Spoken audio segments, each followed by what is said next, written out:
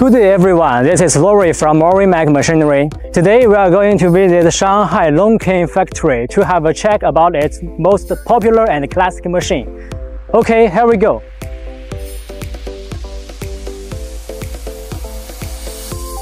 The machine by my side is LONKING's most popular and classic product, CDM 307 skid steer loader, which our customer also called it mini wheel loader, but they are totally different machines, and I will introduce you the difference between these two machines in this video. This CDM 307 is standard equipped with four-wheel drive system, which is enabled to travel and drive in several kind of complex terrain, such as muddy, uneven ground or rough ground. This design provides operational flexibility and better maneuverability. Let's focus on the bucket. This machine is standard with 0.43 cubic meters bucket, and its payload capacity reaches to 273.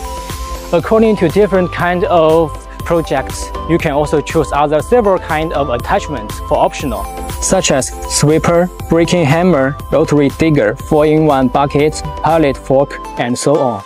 Its versatility is the biggest difference and advantage compared to normal wheel loader, and all of these features make it widely used in agricultural farming, logistic industry, and municipal construction.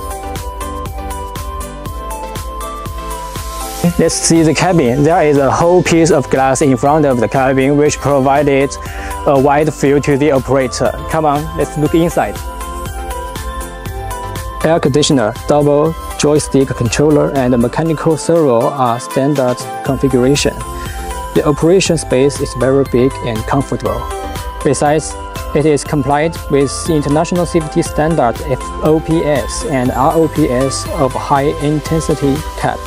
Here is the engine. This machine is standard with Xinchai diesel engine. If you are not interested in the Chinese engine, we can also choose Japanese Kubota engine for optional. Okay, that's all about this video. If you want to know more details about this machine or our company, welcome contact me freely. See you next time.